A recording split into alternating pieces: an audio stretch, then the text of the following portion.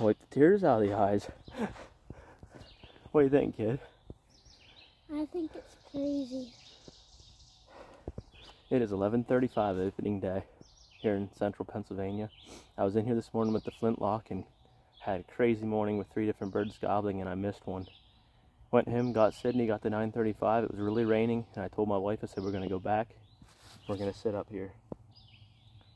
We sat up there for maybe an hour, a doe, right? hmm And then we were thinking about moving or coming down here and this one gobbles three times down here in the bottom and I made some yelps and he never responded and I was like, well, we might as well sit.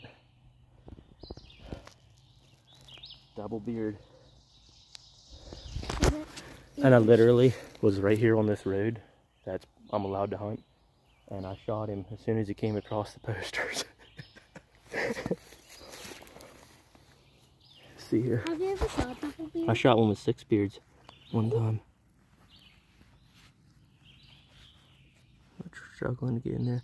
Probably a 10 inch beard, and he's got a 9 inch and a 10 inch, maybe.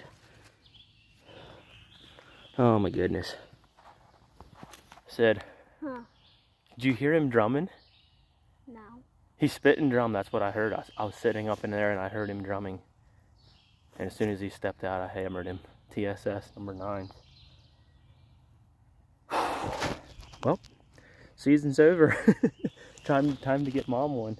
Just remember, my dad shot it. yeah. You were just along, weren't you? Yeah. You did good. Where's the Thermacell? Laying up there at the tree? No.